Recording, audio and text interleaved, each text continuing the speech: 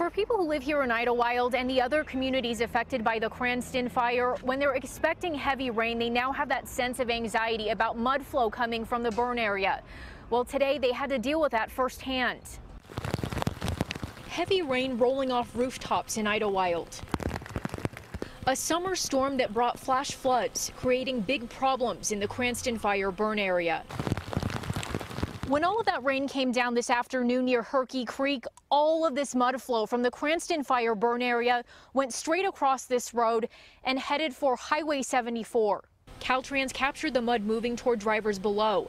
They closed Highway 74 between Mountain Center and Lake Hemet for hours until crews could clean it all up. There was probably 100 cars behind us. John Clay was stuck at that road closure for a long time. He was with Boy Scout Troop 384 from Temecula, waiting for the danger to pass so they could make it to camp. And uh, was finally safe enough to bring the boys up. And it's, you know, it's scary to think that, like, um, something like that could happen while we're here. Joseph McDonald says they pitch their tents on higher ground and they're watching the weather in case they need to pack up and leave at a moment's notice.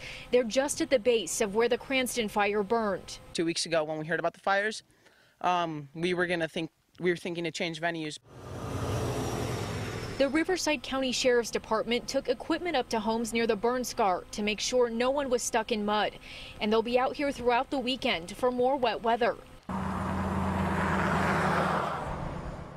So locals here are also now preparing for the potential of thunderstorms on Saturday.